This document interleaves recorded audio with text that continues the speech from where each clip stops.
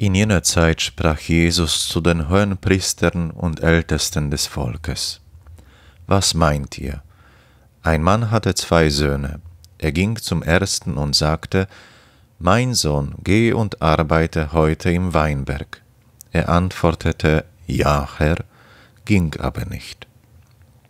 Da wandte er sich an den zweiten Sohn und sagte zu ihm dasselbe.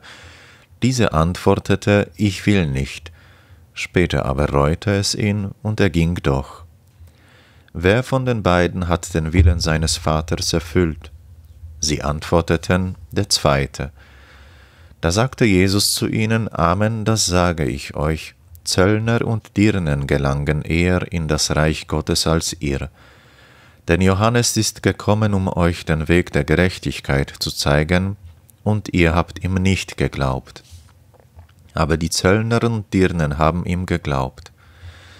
Ihr habt es gesehen, und doch habt ihr nicht bereut und ihm nicht geglaubt.